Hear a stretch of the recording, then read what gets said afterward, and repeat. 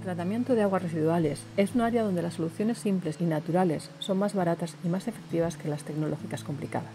A medida que el agua potable es cada vez más escasa, reciclar las aguas residuales tiene cada vez más sentido.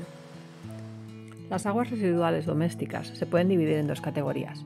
Las aguas negras son aguas que contienen desechos humanos, es decir, de los sanitarios, mientras que las aguas grises provienen de todas las demás fuentes de la casa, duchas, bañeras, lavadoras, lavavajillas y fregaderos de la cocina.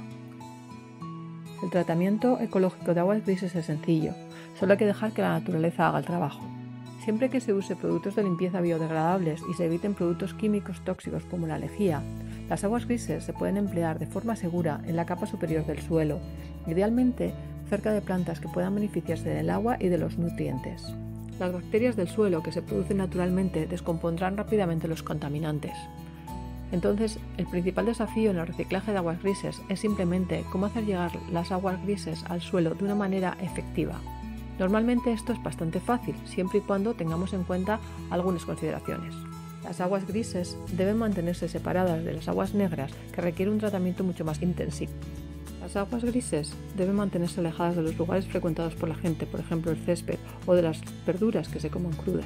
Una forma sencilla es colocar en el extremo del tubo un hoyo cubierto de astillas de madera. Las aguas grises no son adecuadas para pasar a través de bombas, sistemas de riego por aspersión o goteo, ni lechos de grava, todos los cuales se bloquearán rápidamente. Tampoco deben almacenarse en tanques donde se estancará y oldrá mal, la forma más sencilla es dirigirlas directamente al suelo mediante flujo de gravedad. Estos son los principios básicos, pero como en todos los aspectos del diseño ecológico, no hay una solución única para todos. Hay muchas variaciones posibles, dependiendo de la cantidad de aguas grises que se producen, de si provienen principalmente del lavabo o de la cocina, y del tipo de plantas que prosperen en el suelo y en el clima.